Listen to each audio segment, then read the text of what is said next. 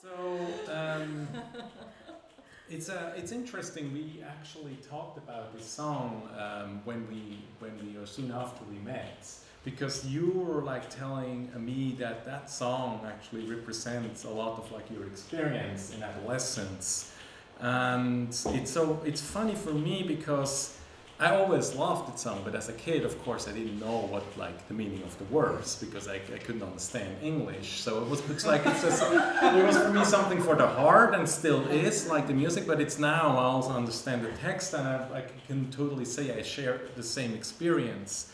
It is a song. It would actually says you're happy until you go to school, until like the institution ruins you you, you turn into somebody who is like easy to control. What I want to tell now is here is kind of something like very uh, biographical. My problems, um, my problems I have with education. And I also want to like extend education a little bit. We are just talking about universities here, but I also like want to talk about like uh, um, education in general, especially also like high school education, because I think there is also a problem. I had a very um, a difficult adolescence. It was a pretty dark world for me. Like two of my siblings died when I was young, and I was always um, in trouble at school. Not because I was not like a bully or something like that. I was always a very friendly kid, but I was extremely stubborn. I never did like what the teacher told me to do, and uh, I was also, but I was also in, in a constant stress. Um, I never had like enough time, especially at high school, at the gymnasium, for things I really liked, like drawing, reading, writing. I had no help and I almost failed actually twice high school. Yeah, after I got my master's degree in history and um, in history and, and, and, German literature and art history, I uh, decided then um, to um, also get a degree in higher education. And I worked at the Swiss Gymnasium for like four to five years. It's a good job. It's uh, you have a great salary in Switzerland. Um, it's Swiss gymnasium is very elitist, so you have like very good students usually. In some cantons, you you only you have less than twenty percent of all like high school students who are going like to the gymnasium. But again, there I also got very early on into trouble as a teacher because of grading. I was teaching um, German literature. Most of the schools you have to reach some like average grades. And uh, so you shouldn't be higher than this average grade, no matter how good actually your class is. And so I got into trouble because I was apparently a much too nice grader. And now I'm realizing, oh, that's why I was in troubled at high school. But it is so much, it's so much pressure. You put people really so much like into a box that they at the end really like um, are kind of like the cog in the system. And there is just not much passion behind this whole like evaluation system. I mean just imagine if like you have like a, you're teaching high school you have a student who gives like an oral presentation is like nervous and is like you know in front of the, the class and you were kind of forced to give some of them like a, bad grade.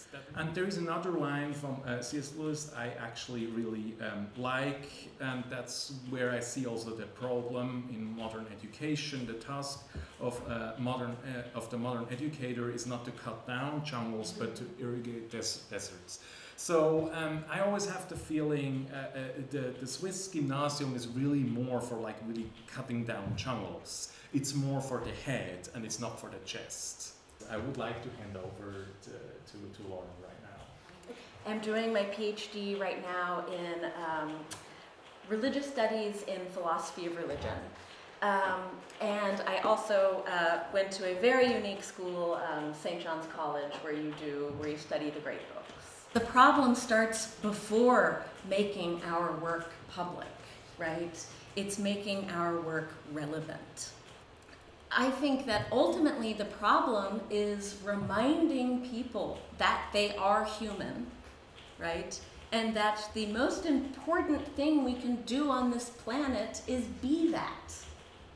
And that and then secondly, that this isn't something that just happens naturally that it has to be, um, there is an educational aspect of learning to be human.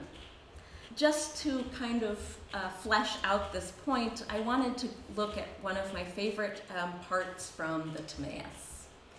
So, um, the Timaeus, as you know, is um, Plato's um, cosmological dialogue, and um, where he really looks at the creation of the universe and um, gets very technical into like the shape of atoms, right? There are these like mixtures of different kinds of triangles that combine to uh, form different kinds of matter. It's really technical and really fun. So Plato is going into really kind of every aspect of um, the body.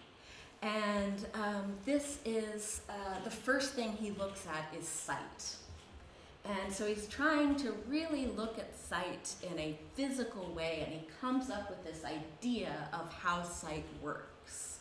And he says that sight is, um, it's, we have a fire, an internal fire or light that shoots out through our eyes, and it meets the fire or light that's outside of us in the world, and that is what creates sight.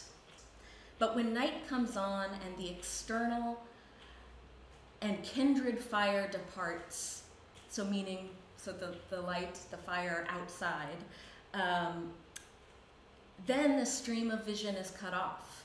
For going forth to an unlike element, it is changed and extinguished, being no longer of one nature with the surrounding atmosphere, which is now deprived of fire and so the eye no longer sees, and we feel disposed to sleep. For when the eyelids, which the gods invented for the preservation of sight, are closed, they keep in the internal fire, and the power of the fire diffuses and equalizes uh, the inward motion. When they are equalized, there is rest, and when rest is profound, sleep comes over us. So we're looking at how he's looking at how um, how vision works and how everything is so perfectly made that even when um, the, external light uh, is gone, we have these eyelids that perfectly close and we sleep. But then in the next paragraph, he goes on to um, describe why vision is so important. And I think it's unexpected um, what he comes up with. The sight, in my opinion, is the source of the greatest benefit to us. For had we never seen the stars, the sun, and the heaven, none of the words which we have spoken about the universe would ever have been uttered. But now the sight of day and night and the months and revolutions of the years have created number and have given us the concept of time and the power of inquiring about the nature of the universe. And from this source we have derived philosophy, than which no greater good ever was or will be given by the gods to mortal man. Philosophy requires a resistance to this natural sleep, right? Our body is um, created so that as soon as the light is extinguished, we close our, our eyes and sleep.